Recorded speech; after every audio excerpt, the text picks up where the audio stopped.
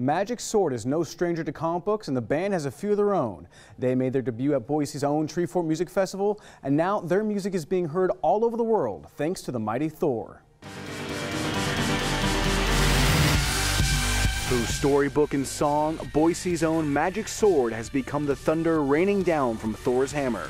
The Electra Collective is composed of self-proclaimed interdimensional beings. The keeper of the magic sword, the seer of all truths, the weaver of all hearts and souls, and the harbinger. Their identities kept hidden from mortal eyes, their music now in the limelight.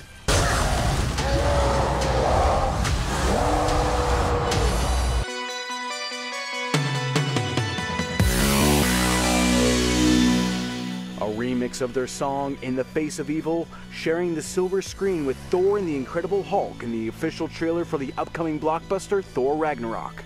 Much like many superheroes, their identities remain shrouded in darkness, lit only by neon.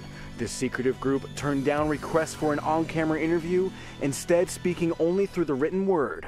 The company of humans known to us as Disney asked for us to bestow our vision to them in the form of song. They did not inform us of our successful union before this trailer was revealed.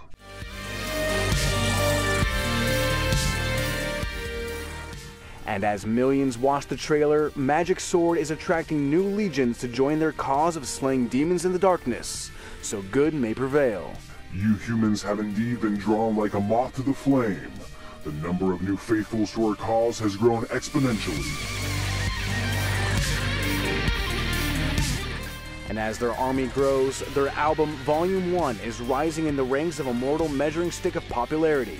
Volume 1 is currently number 22 on Billboard's dance and electronic charts, something the Harbinger admits seeing is a bit surreal, even for a group of interdimensional beings.